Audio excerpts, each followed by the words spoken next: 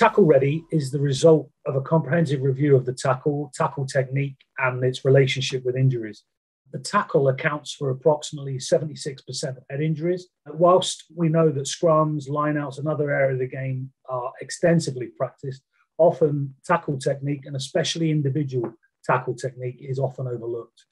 We're hoping that by promoting best practice, we can deliver really positive welfare outcomes that both reduce the risk of injury and help performance as well. Tackle Ready hopes to do just that and is applicable to the whole game, every person at every level. We've got to be better at what we do, got to make our players more accurate, and we've got to coach it better. The key thing for us was to make it simple, but also to make it a range so a coach at any level can dip into tackle ready and can take out what they need for their particular area that they're coaching. The five key areas to tackle ready uh, are obviously to start with tracking, which is obviously getting to the ball carrier and everything that's involved in and around that area. It's a key point. Vision, decision, action. What do you see coming at you? The decision you're going to make as a tackler.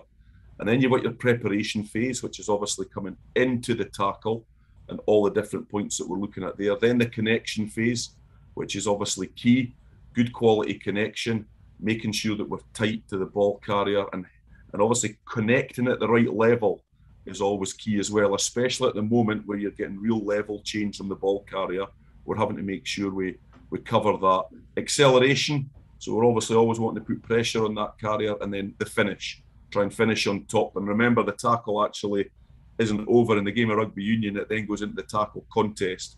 But they're the five key areas we're looking for. And then within each stage, there's key performance indicators that break it down even further.